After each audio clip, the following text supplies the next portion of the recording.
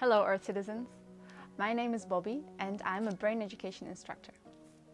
So today I want to follow up a little bit more about uh, on the last videos that I've made where we've been speaking about earth management and earth citizen. In these past few years have not been easy. We've been struggling a lot. There's a lot going on in the world and this is creating a lot of suffering.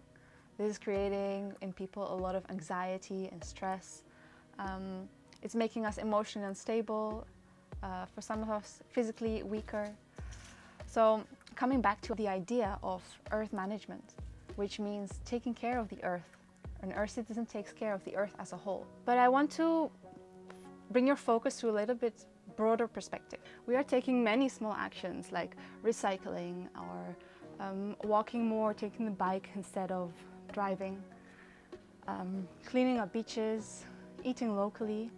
So all these actions, they are benefiting the earth, yes. But let's look at it from a little bit broader perspective. What else belongs to the earth? And one key element is us, humanity.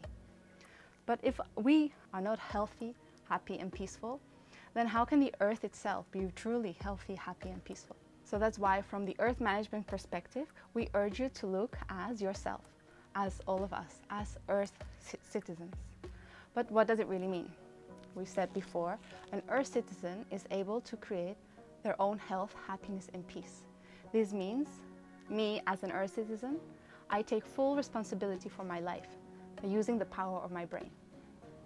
But what does it actually mean to use the power of my brain?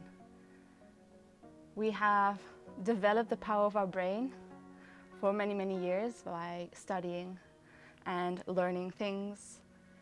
But how about if I tell you you can develop the power of your brain through exercise, through meditation and breathing.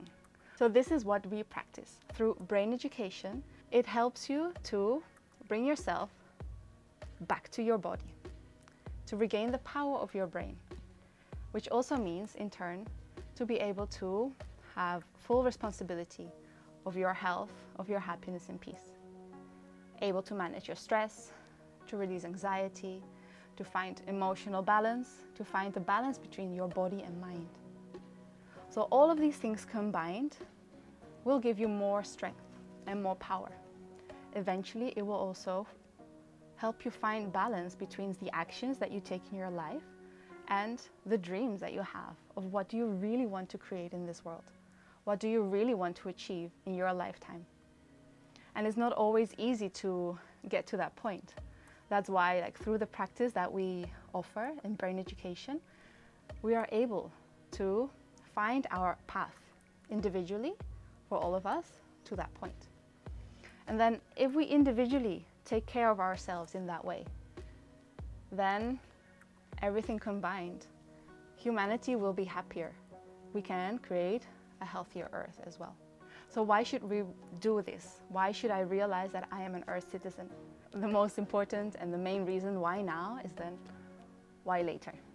Right now is the best time to start taking action. So on this channel, I will be sharing very practical exercises and tips and meditations so that you have a practical approach on finding your path, on connecting to yourself. So there's already a lot of information and a lot of content out there. I'm going to put in the description down below a couple of links uh, where you will be able to find already a lot of content, of information and exercises that will help you to get on this path if you're interested to join us. So please consider subscribing to this channel and leave any comments down below if you have any questions and I will see you in the next one.